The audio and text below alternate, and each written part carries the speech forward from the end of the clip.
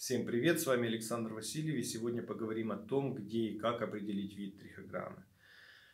Э, за рубежом является нормой, когда производитель ежегодно проверяет, что он производит и предлагает своим клиентам. К сожалению, в Украине эта практика не прижилась. И до того момента, как мы стали писать и говорить об этом, вид трихограммы никто не определял. Все продавали непонятный вид трихограммы, обещали, что он будет паразитировать многих вредителей сельскохозяйственных культур, только покупайте.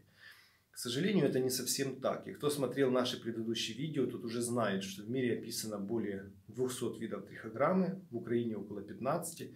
И каждый вид отличается избирательной способностью к паразитированию определенных видов вредителей.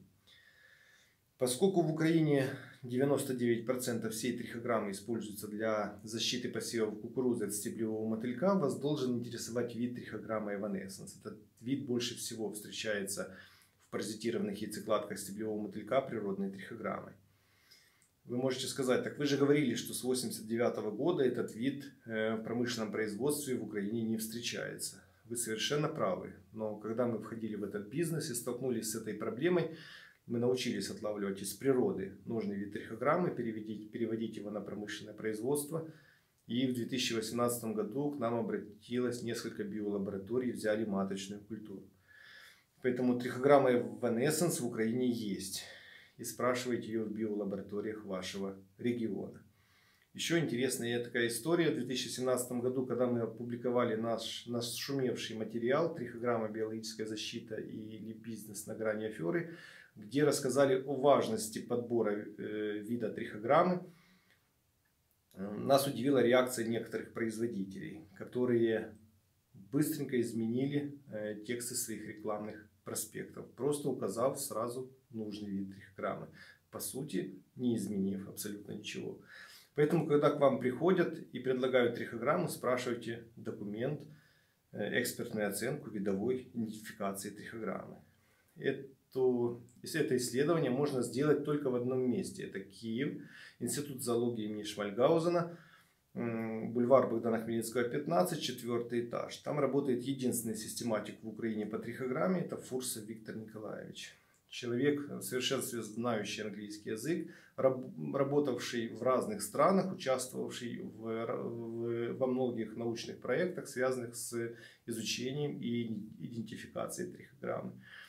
И в конце этого видео внизу мы поместим ссылку на его страницу в Фейсбуке, контактные э, данные.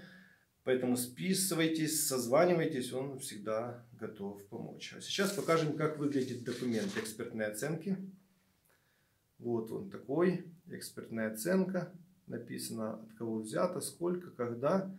Посчитано, сколько самцов, сколько самок, какой вид определен. И там внизу фотографии, подпись Фурсов число. Да, вот второй листок документа. Это приложение, тут более качественные фотографии. Почему здесь фотографии? Потому что вид трихограммы определяют по э, строению усиков и по форме гениталий у самцов. Поэтому для определения вида нужно небольшое количество трихограммы, с которым проводят некоторые манипуляции. Трихограмму осветляют, э, промывают в растворах, отделяют самцов отдельно. И для того, чтобы самца можно было рассмотреть его э, усики и форму гениталий, помещают в каплю э, или канадского бальзама, или эупорала, там препарируют, накрывают покровным стеклом. Таких самцов отбирают достаточно большое количество. И в дальнейшем с, с помощью с хорошего микроскопа и оптики делают снимки и проводят дальнейшее определение. Поэтому работа довольно сложная и э, забирает достаточно много времени. Если клиент, который к вам пришел, не имеет э, экспертной оценки, я бы не советовал связываться с таким продавцом. Я даю 99%, что никакого результата на своих полях от применения такой трихограммы неизвестного вида вы абсолютно не получите. Поэтому будьте, будьте осторожны, спрашивайте этот документ. Там обязательно должна стоять э, подпись Фурса Виктор Николаевич. Больше у нас в Украине никто этого сделать не может. Э, в следующем сюжете мы поговорим о качественных показателях трихограммы. Мы расскажем какое учреждение проводит это исследование, как выглядит документ, расскажем, почему не всегда стоит верить этому документу. Это не касается качества проведения исследований, это не камень в огород тех людей, которые их проводят, это больше связано с технологией производства трихограммы, это будет небольшая интрига на следующий раз. А сейчас немножко расскажем о той комнате, где мы снимаем это видео. Это одна из наших зерновых. Здесь после термической обработки зерно ячменя попадает сюда, раскладывается в ящики.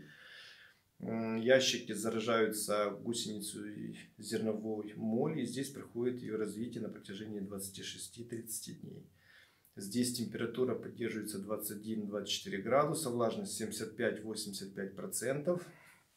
Вот сейчас мы вот вам покажем. Вот тут я тут вентилятор. Вентилятор для того, чтобы э, температура в комнате была примерно кругом одинаковая.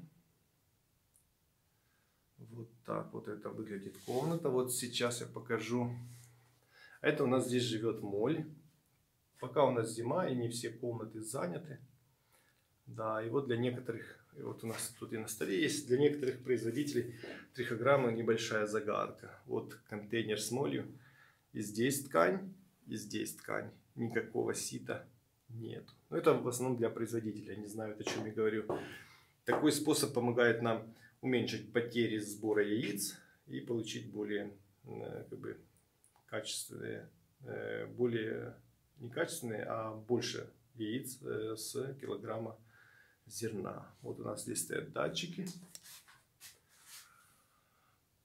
22 и 80%. Когда мы, у нас лаборатория была на первом этаже, у нас были большие проблемы с влажностью, постоянно работали увлажнители, нам надо было влажность догонять. Когда мы переехали э, в новое помещение и часть э, технологических моментов опустили в цокольный этаж, что у нас даже работает осушитель для того, чтобы сбить немного влагу. Вот еще одна комната нашего производства. А на сегодня всем пока, до новых встреч.